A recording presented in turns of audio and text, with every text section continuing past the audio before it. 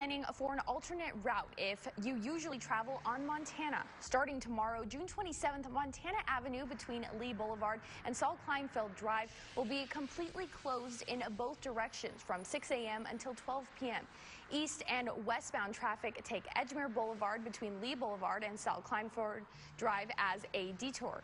And residential and business through traffic use Turner Road. This closure is due to El Paso Electric needing to install new distribution infrastructure as the area grows. And coming